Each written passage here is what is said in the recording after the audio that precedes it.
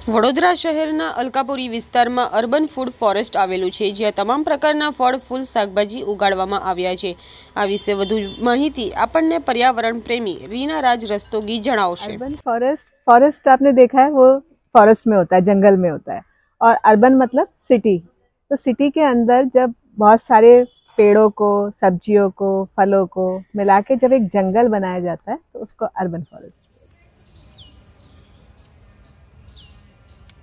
ये I think हमारा जो प्रोजेक्ट है around one one and half year old है मतलब डेढ़ साल पुराना है।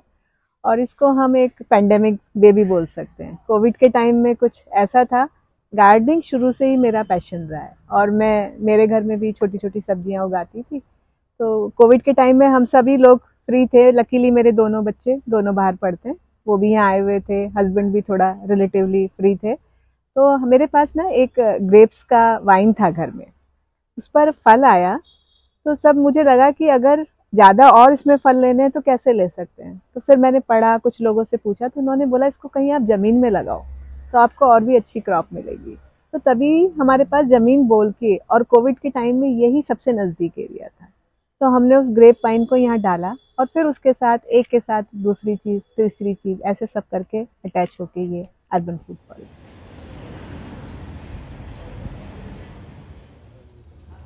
around hundred से हंड्रेड ट्वेंटी फाइव के जितनी स्पीसीज हैं। और गार्डनिंग पैशन था, इसके लिए स्पेशली मैंने एक पर्माकल्चर करके एक कोर्स किया। Permaculture means permanent agriculture. और पर्माकल्चर की जो थ्योरी है, वो ऐसे ही थ्योरी है कि आप जितने ज़्यादा प्लांट्स एक साथ लगाओगे तो जितने भी हमारे पेड़ पौधे होते हैं, उनको एक जंगल जैसा माहौल मिलता है जैसे जंगल होता है ना, वहाँ ना तो कोई पानी डालने जाता है, ना कोई बीज डालता है, ना कोई केमिकल डालता है, लेकिन उसका एक सस्टेनेबल सिस्टम होता है। तो सेम थ्योरी सेम कॉन्सेप्ट को पढ़ के हमने यहाँ पर अप्लाई किया तभी अर्बन फ़ूड फॉरेस्ट बना। और यही रीज़न है कि आज इतने छोटे से एरिया में हमारे पास सौ सौ से ज़्यादा स्पीशीज हैं। और इसके बेस्ट पार्ट है कि हमको रिज़ल्ट भी मिल रहे हैं। और किसी तरह की कोई खाद और किसी तरह का कोई केमिकल डालने की ज़रूरत नहीं पड़ रही। देखिए ये एक इको एजुकेशनल स्पेस है और जब मैंने बनाया था मतलब एक माइंड में तो था ही शुरू से लकीली लकीली ही बोलो कि कोविड आया और वो एक सपना उस टाइम पर पूरा हुआ।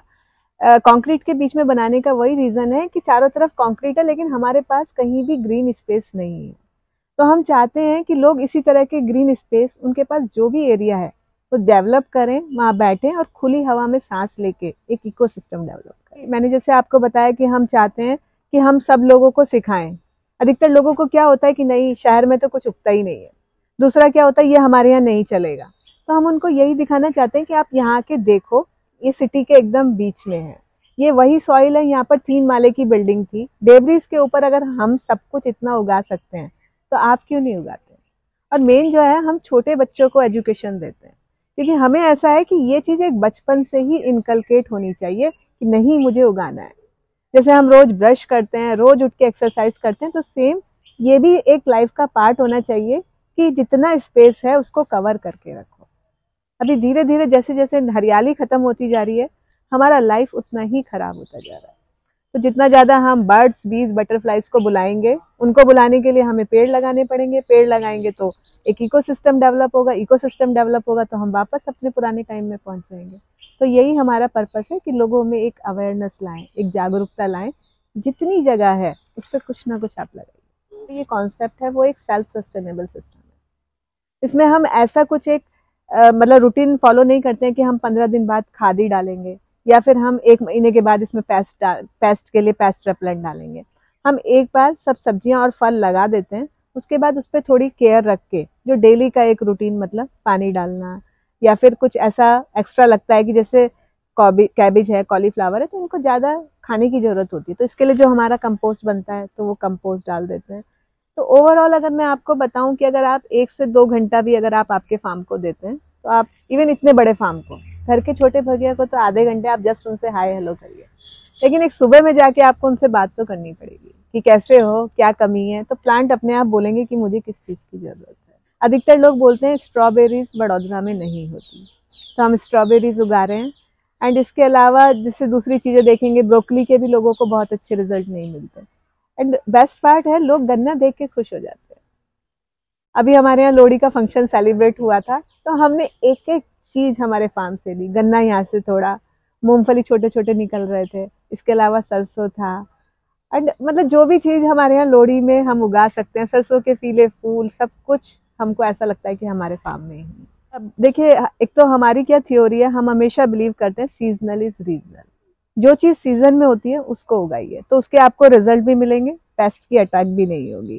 तो मेथी, पालक, तुअर, मूली इवन आपने हमारे यहाँ स्ट्रॉबेरीज भी देखी हैं कॉलीफ्लावर कैबेज जितने भी विंटर की सब्ज़ियाँ हैं, आप सब उगाइए। ऐसा कुछ नहीं है कि हमने नया किया, लेकिन एक चीज़ हम वो सीखते हैं कि पिछली बार अगर वो चीज़ अच्छी नहीं हुई थी तो क्यों नहीं हुई?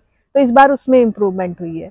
नेक्स्ट टाइम अगर हम शायद दूसरी जगह स्पेस चेंज करके देखेंगे तो मे बी वो चीज़ ना भी हो। तो ये एक लर्निंग प्रोसेस है, जो कि कंटिन्यूस चलता रहता है। तो उसमें नया एक्सपेरिमेंट उसको इम्प्रूव करना ही होता है। बहुत ज़्यादा कुछ नया उगाना या ये नहीं होता।